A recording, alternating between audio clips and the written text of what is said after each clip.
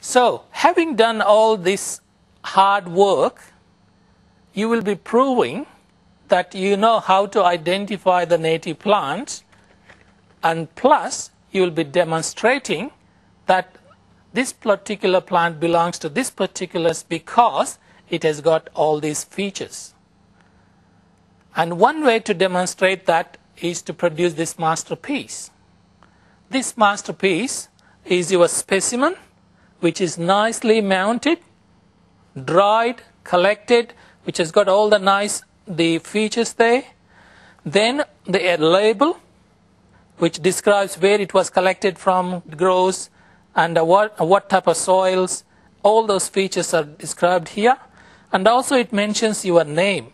I blocked this one out because from a previous student. And you mention your name so that if this specimen is a very unique specimen, it will stay in the herbaria for tens and hundreds of years and the other botanists will make use of that.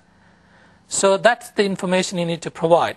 In addition, you need to provide the floral diagram, which I think we will explain more about that. After dissecting the, the flowers, you put them into the floral diagram, uh, the, uh, the structure like this, the way you have learned during your living systems, or if you have any problems, you ask me during the WebEx uh, sessions.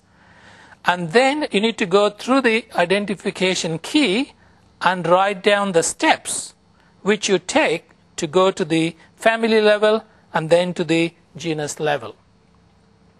And so this is your masterpiece and this is the one which is going to give you the, the marks at the end of the day. The next question is once you have finished with that, how do you make sure that that will reach me in, the, in one piece? So the best way is to put them into a folder like this or A3 size manila folder and separate the specimens belonging to a particular family into one group or several families into one folder and uh, so this is the way you put them in. Uh, I prefer this one. This is a very good one. And you can get this, uh, the Manila folder. You can see the brand as well there. It's a green one. And you can cut it up, make a folder like this. And uh, just place your sample. Each family or several families into one folder.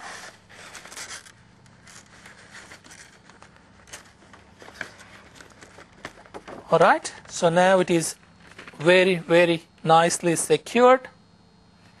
And uh, so you will have maybe about 10 folders like this, each one containing about two to three or four specimens. Once you finish packing each specimen like this into the folder and place all those folders in a A3 size post pack box and then place them, all of them here and then mail them to me at CQU or to the the same place where you are sending that to your uh, all the, all your assignments.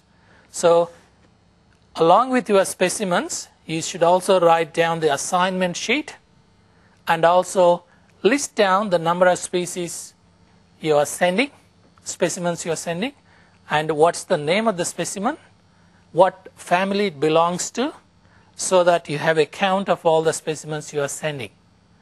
And then that can be easily sent to me by post or you can uh, send it through the, the local campus mail service or if you're located here, you can drop it off into my office or uh, building 6 admin office, level 1 building 6 admin office.